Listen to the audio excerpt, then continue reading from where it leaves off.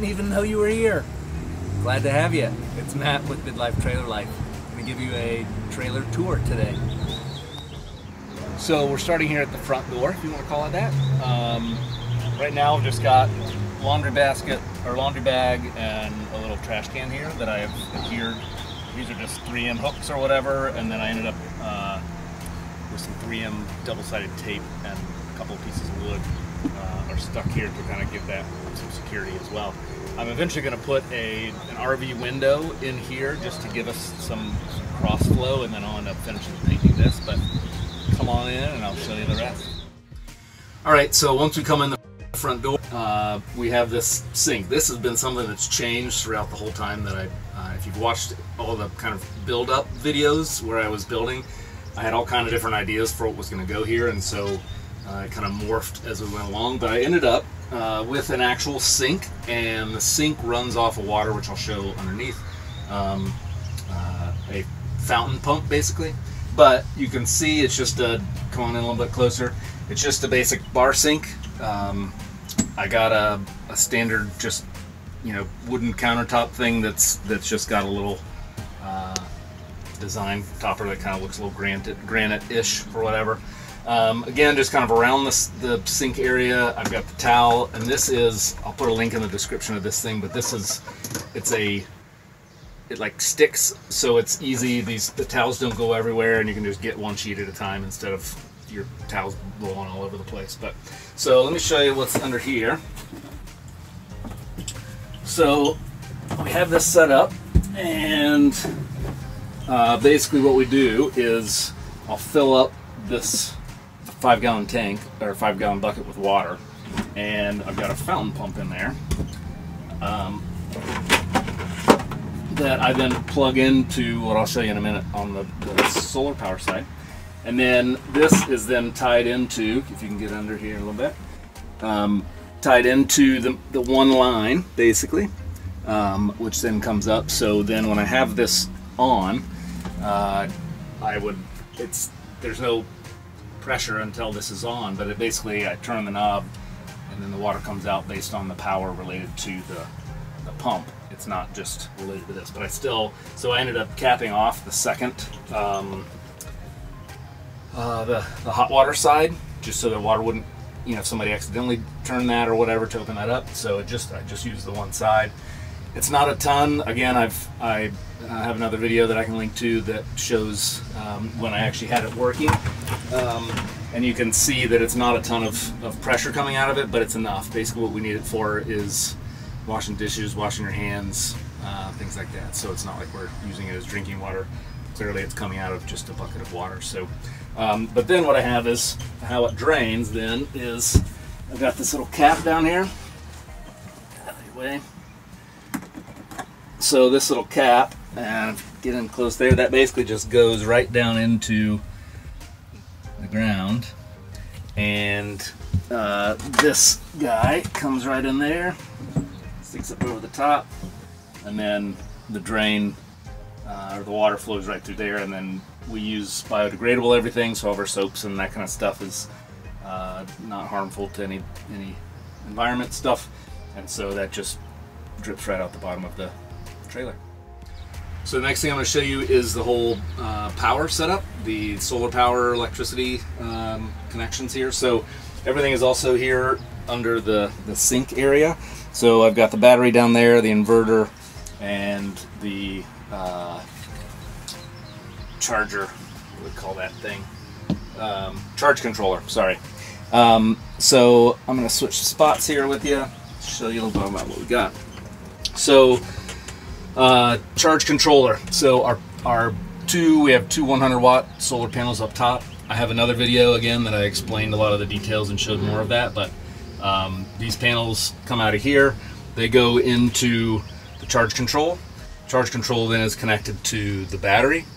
The battery is connected to the inverter. And so this inverter has both um, uh, plugs that come right off of it and then I'm also connected directly into the, again, I'm terrible with the names of these things, but uh, like your electric box basically that then has power out to a couple other things, which I'll show you in a second.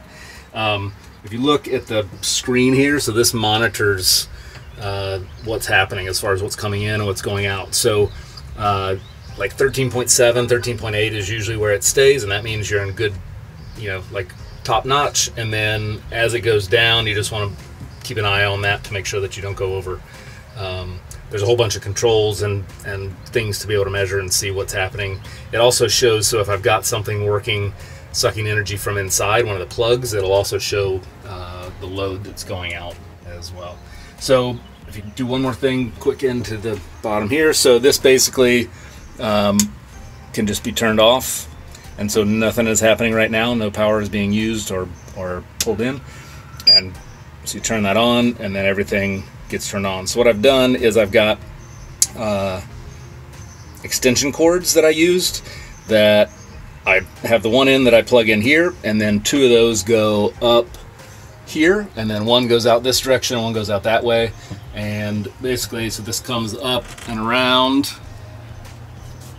and down to this plug here which I just use as a, a dual plug and USB charger because that's usually what we'll have is just um, phones and iPads and computers and stuff like that.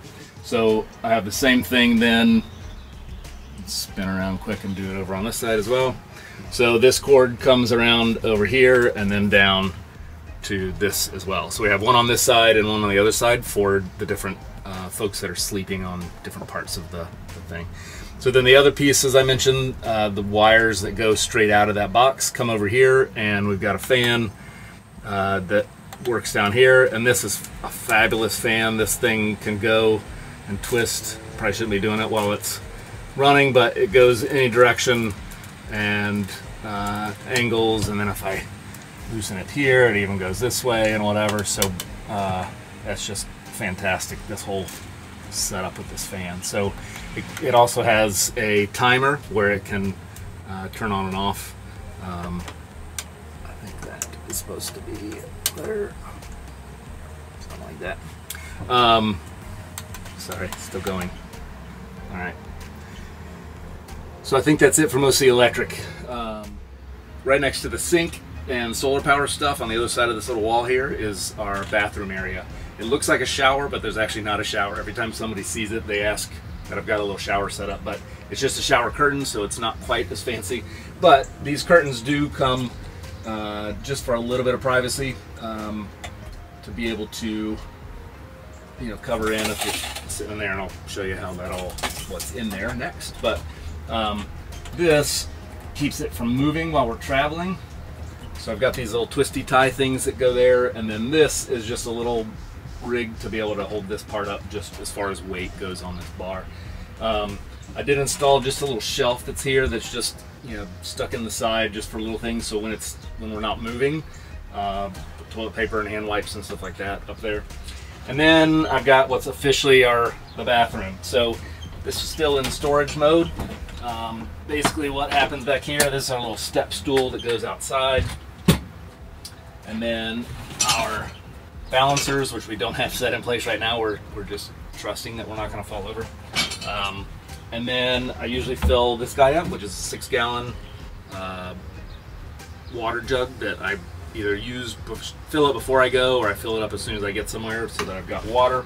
And then this is our camping toilet. We don't have to get too detailed into the toilet itself, but it's a it's a camping toilet um, that has its own uh, black water tank where it stores, and then it's got a flushable thing. So you just pump this little guy back here, and it will uh, flush that. So you fill water in there.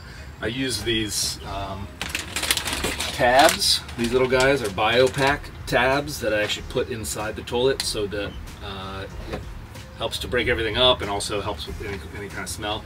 Uh, I've been on several trips now and haven't had any issue as far as smell or any of that kind of stuff. So uh, it works out pretty well. Um, so this is the the bathroom. And again, like I said, both of these come, so if, if there is other people in, it's not that you've got a whole lot of space, but at least you can have a little bit of privacy while you're doing your business. All right, so on the side of the trailer where, where the door side is, um, we put in these just standard like closet shelves. And then we uh, adhered these guys, these baskets basically are stuck in by zip ties. So nothing is going anywhere. Uh, this is all just kind of junk stuff that I need quick access to potentially. Uh, I've got cords and uh, just extra things. This is a, a, cover of some sort, some lamp. I've got my flashlight and lighter and things like that in here. But it's great. It's up and away. So again, we'll kind of show you the couch in a minute. But it's it's stored up. There's plenty of room up top, but it gets out of the way, which is really nice. And what you'll see that's also coming here, which is in the future plans, and I'll, I'll give you more details on that later. But this guy uh, is my cell booster, cell uh, booster, and again, I'll link to it, but I can't remember the name of it. I need to do better at knowing these names. But basically, what I've got is uh, I will end up putting this up above and run ran it uh, run it with all the rest of the, the wiring up above, um, and it'll come down, and then ultimately there's a uh, a little box that sits in here that uh, connects to this. This guy then plugs in to this, and then I hold I connect this by zip ties outside. And so basically, what this does is it grabs a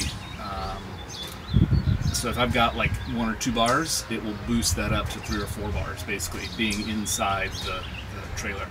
Um, because it's a big metal box, sometimes it just doesn't, it's not a very good uh, as far as signal in here, but this works fabulous. And so uh, I even run the wire out and just do it so even overnight I can close up the, the uh, ramp door that's kind of the patio and still have this out there without any, any problem. So huge. Highly recommend this. It works really, really well, uh, both on my iPad and my phone. It's worked uh, tremendously. So it's, it's a cell booster. It's not Wi-Fi. So the difference there is that it's, it doesn't have its own signal. It basically grabs the signal that's out there and makes it better for you. So you just you, are, you have to have at least some bar.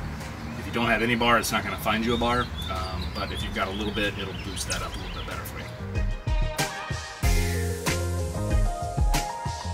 Okay. Hey! Didn't even know you were out here. So glad to have you.